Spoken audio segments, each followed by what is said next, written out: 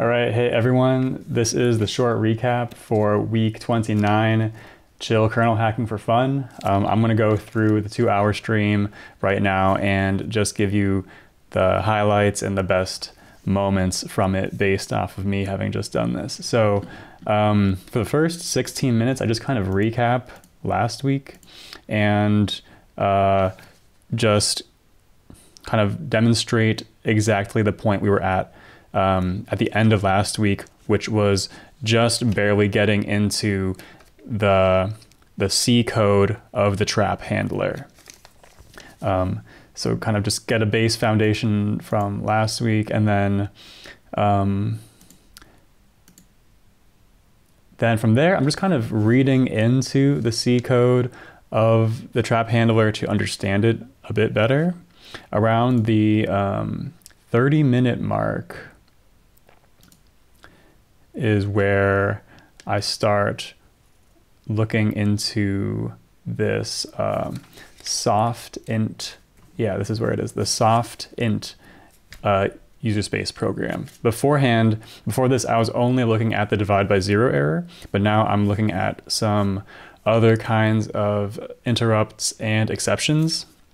This one is pretty interesting because it's a user space program that tries to manually do an interrupt 14 via the interrupt instruction, which is also not the, the number, the syscall uh, interrupt we're using here. So it's kind of just a, a random um, interrupt that it's trying to trigger. It's actually the page fault handler. And the point of this is just to observe how the CPU basically um, downgrades that attempt to fire an interrupt into a general protection fault if interrupt 14 uh, either doesn't exist or is not uh, basically advertised as being accessible from user space in the IDT. Um, and user space should not be triggering page the page fault handler just however it wants to. And so in our case, we're definitely disabling it in the uh, IDT. And so so the next bit is just kind of investigating how this works, kind of this downgrade um, machinery. We kind of go into the manual a bit at points. Um, but yeah, so I'm, I'm just explaining this around around uh, 33 minutes. I also implement the general protection fault handler for the first time, which is honestly a kind of a big deal. Um, up until this point, if anything goes wrong with the kernel, it just triggers reboots like crazy. So with the with the general protection fault handler now in place, finally, the kernel doesn't just continually reboot all the time if there's any kind of uh, memory error or stuff like that. So that was pretty cool. Um, around 42 minute mark, I also implement the page fault handler, just kind of the, yeah, just the, like, not not the full page fault handler, but just the entry point, uh, so we can kind of begin to handle page faults. As an explanation also for that um, soft int, soft int thing. Um, nice. At 46. Yeah, here's where we go into the manual and try to find where this behavior is documented, where interrupt instructions, um, if they are not permitted by the kernel, they get converted into a general protection exception. And this is at least one part of the manual where I could see that um, in the documentation for the interrupt instruction. At one hour yeah, um, I think I'm just kind of reading forward for, for the next bit, um, going through the lab, kind of answering some questions from this MIT lab that I'm following. At one hour and one about, um, I start debugging a, a, bug actually in my code. Um, and so I actually had implemented um, the GP fault incorrectly and it was causing some of these tests to fail. And my bug was that I, um, the GP fault, I believe. Um, the bug was I was using the wrong um, macro for kind of declaring the assembly stub. We have, I have two different kinds of macros. One, um, if the interrupt pushes an error code on the stack, and then one if it doesn't. And I was uh, I didn't reference the documentation, and I had a bug there.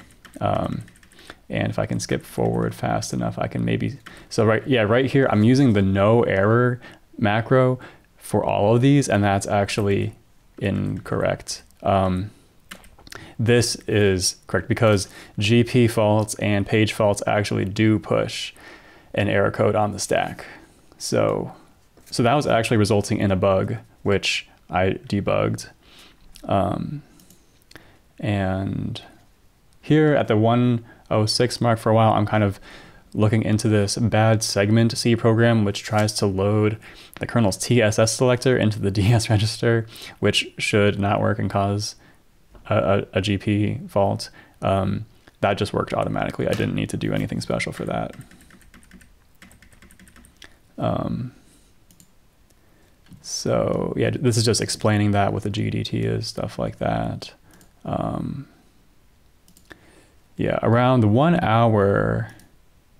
So this is just looking at the interrupts. I think I was at this point I was rena- I was doing a bunch of just renaming of things because I had all like all these kind of weird inconsistent names for these stub things. So I was just kind of trying to find how to name them. But around the one, I did some Git stuff and just cleaned up the Git. Around 126 though, I start working on this page fault exercise. Um, it's pretty simple. It's just um, dispatching page faults based off of the um, the trap number, which is which is basically what I'm doing right here. Um, that's pretty much it. to simply take the trap number out of the trap frame and then dispatch and call the right function based on it. That was pretty simple. Um, yeah. At a bit further, I start working on the next one, which is the breakpoint exception.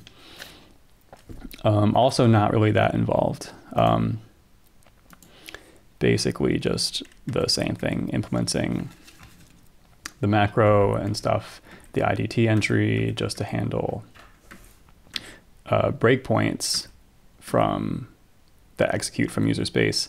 And the notable difference about the breakpoint interrupt handler, okay, here's me doing some Vim stuff very slowly. The notable thing about the interrupt handler is that unlike almost any one of these, the interrupt handler is actually meant to be accessible from user space. It is actually um, meant for user space to trigger int3 interrupts. And so here's me. I mean, I have the bug. I have the bug right now. I, I'm I'm setting the permissions to zero for the breakpoint interrupt, but that's actually not correct. And at some point, I figured this out because things don't work. And so yeah, I just fixed it there and changed it to three such that user space actually is able to trigger this without GP faulting. Um, and that is pretty much the last significant thing I did in the stream. After that point, it was just a little bit of cleaning things up, tiny amount of code to actually invoke the kernel monitor from the breakpoint exception. That's what I'm doing here. Um, and that's pretty much it.